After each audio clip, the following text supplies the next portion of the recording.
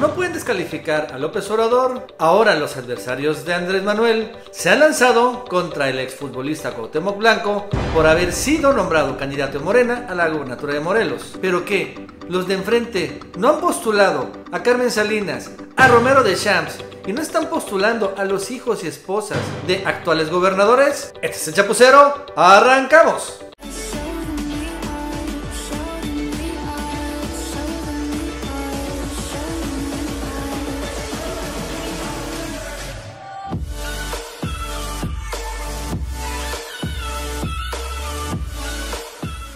Hola amigos y amigas, ¿cómo están? Soy Nacho Rodríguez en otra edición más de Chapucero Televisión. Si bien no es nada nuevo, incluso ya tiene tiempo que aquí en el Chapucero revelamos la posibilidad de que Cuauhtémoc Blanco fuera candidato a gobernador por Morena allá en Morelos, lo cierto es que ya una vez confirmada la noticia, todos los medios anti-López Obradorista y obviamente también los demás partidos políticos, el PAN y el PRI, se han lanzado duro contra Andrés Manuel y contra Morena por andar postulando a este exfutbolista e ídolo del América. Y bueno, ellos están preguntando, ¿cómo es posible que el partido de Manuel Obrador que tanto blasona y presume de que son honestos y puros, ahora esté postulando a un exfutbolista como Cuauhtémoc Blanco, cuando la realidad es que en Morelos es mucho, pero mucho peor la opción contraria con la que está compitiendo Cuauhtémoc Blanco, porque allá contra el que va a competir el exfutbolista es Rodrigo Galloso, el hijastro, sí, hijastro del actual gobernador Graco Ramírez. Se sataniza mucho a Cuauhtémoc Blanco porque él es un exfutbolista y bueno, ya no es tan así. Finalmente fue alcalde de Cuernavaca en estos últimos años. La realidad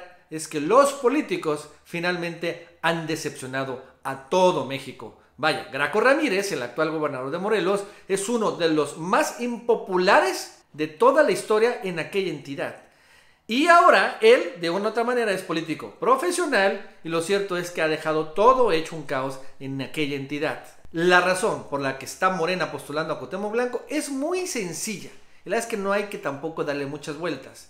Es porque Cuauhtémoc Blanco es el puntero en las encuestas allá en Morelos, con o sin Morena.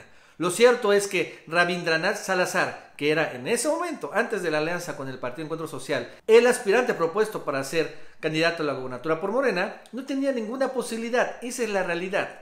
Al final también obviamente Andrés Manuel López Obrador en un sentido pragmático de las cosas y viendo obviamente que Morelos es una plaza que podían ganar, pero necesitaban ellos postular al mejor posicionado, que era Cuauhtémoc Blanco, entonces esto fue lo que también de una u otra manera impulsó la alianza con el encuentro social.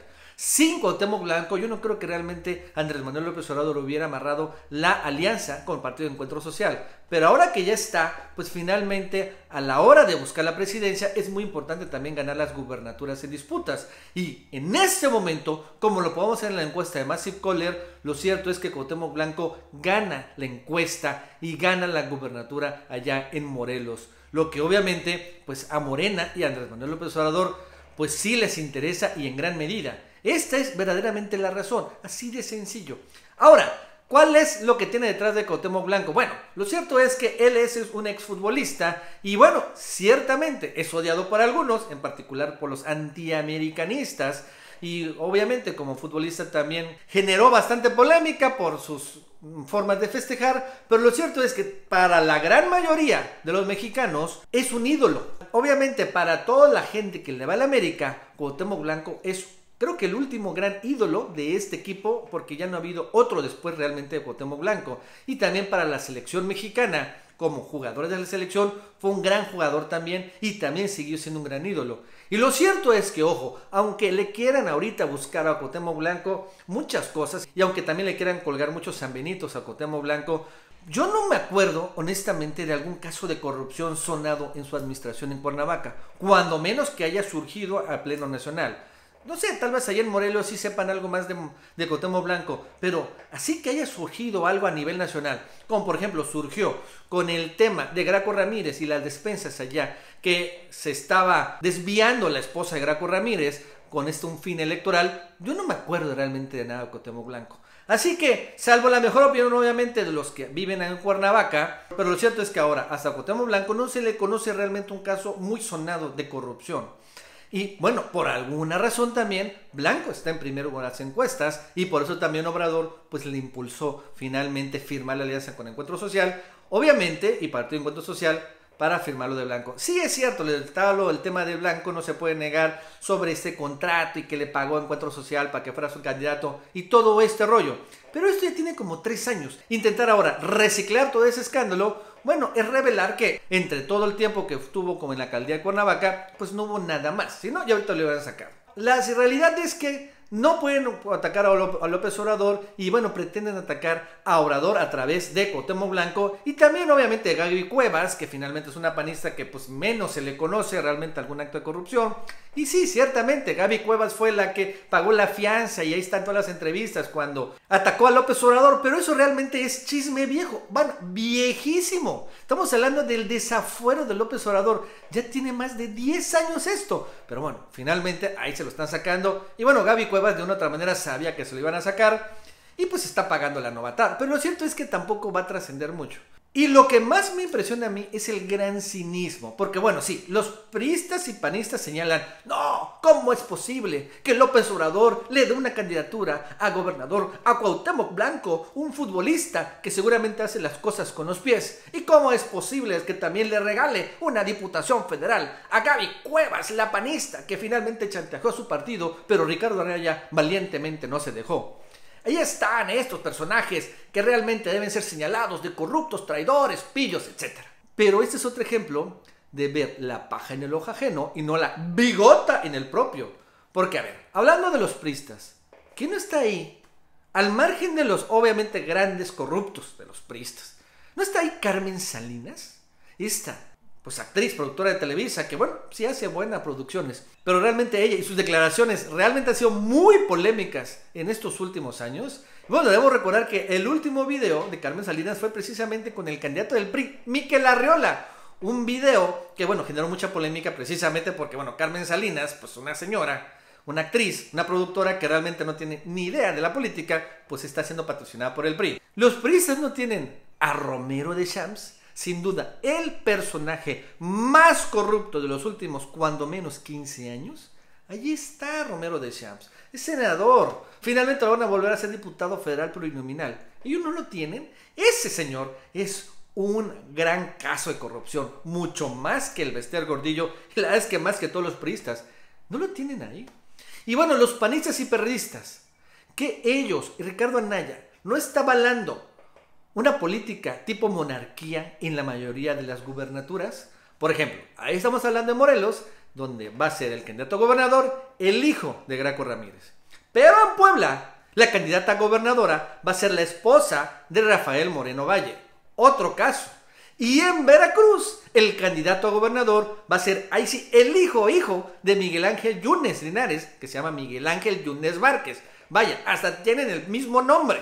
Y entonces, al margen, obviamente, de la corrupción o no que tengan Graco Ramírez, Moreno Valle y Miguel Ángel Yunes, pero el hecho de que el PAN y Ricardo Naya estén avalando esta política monárquica de herencia es realmente algo muy deleznable y también muchísimo peor que Morena esté postulando a un exfutbolista a la candidatura de Morelos. Y es que si vamos realmente a acusar con dedo flamígero de las cosas que están mal a la hora de postular candidaturas, yo creo que en serio es mucho, pero mucho peor que los actuales gobernadores pretendan heredar a sus esposas y a sus hijos el poder que Morena pues esté buscando a figuras populares, sí, sin lugar a dudas, ese es el chiste también, tienen que ganar la elección, ni modo que pongan a un impopular como José Antonio Mit con el PRI, no, hay que postular a popular para ganar la elección, y bueno, si es un exfutbolista que realmente tal vez sí tiene razón, no es un político profesional, pero lo cierto es que como alcalde no se le ha visto involucrado en sonados actos de corrupción, pues qué mal tiene. Finalmente el chiste es ganar la elección, y no solo eso, también el propio Rabindranath Salazar, el que dejaron al margen de eh, la carrera al interior de Morena por la gobernatura de Morelos, el que él iba a ser el candidato, él ya salió, ya apoyó a Blanco y ya creo que ya negoció también. Ella dijo que Blanco no va a gobernar solo. Cotemo Blanco va a gobernar pues con la gente de Morena y claro, de Encuentro Social. Y es como todo, si gana Blanco y gana Andrés Manuel López Obrador la presidencia, pues va a ser el tabasqueño, ya como presidente, que le va a estar también echando el ojo a Cuauhtémoc Blanco. Y yo no creo realmente que Cuauhtémoc Blanco se vaya a rebelar contra un presidente emanado de su propio partido.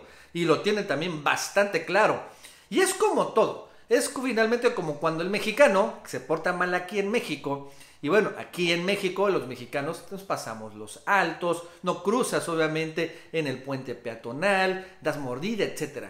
Pero cuando el mexicano va a otro país, obviamente cumples todas las leyes cívicas, no te estacionas en lugares prohibidos, también no te respeta los espacios para discapacitados, etc. Y bueno, al final también en los partidos es un poco lo mismo. Si bien en el PAN y en el PRI los políticos pues tenían derecho a portarse mal, tanto Gaby Cuevas como Cotemo Blanco, obviamente si se pasa a Roberto Gil Suar y todos los demás tránsfugas que están llegando a Morena, saben que ahí en Morena sí se tienen que portar bien, porque ahí López Obrador no se anda con las ramas y solo está esperando a ver quién se porta mal para poner el ejemplo a los demás. Esa es la realidad. Y finalmente Cotemo Blanco, pues será gobernador de Morelos, si no pasa realmente nada extraordinario, pero repito, vigilado por todo el equipo de Morena Empezando por el ex candidato Rabindranath Salazar, que estoy casi seguro que va a ser o líder del Congreso allá en Morelos o secretario de gobierno con Cuauhtémoc Blanco. Bueno amigos y amigas, eso es todo por el día de hoy. Si te gustó este video, suscríbete, dale like para que más personas lo vean. Llegaron los nuevos modelos de las camisetas oficiales del Chapucero y también importadas de la madre patria rusa. Llegaron las playeras de Andrés Manuelovich y también esta de la Pejestroika. Cómpralas en la tienda oficial de Chapucero y te dejo aquí abajo la dirección de la tienda y en la descripción de este video te dejo un enlace. Mandamos a todo México y también a todo Estados Unidos. Sígueme también en mis otras cuentas de redes sociales, en Twitter, Facebook e Instagram. Que tengas un buen día y nos vemos en el próximo video.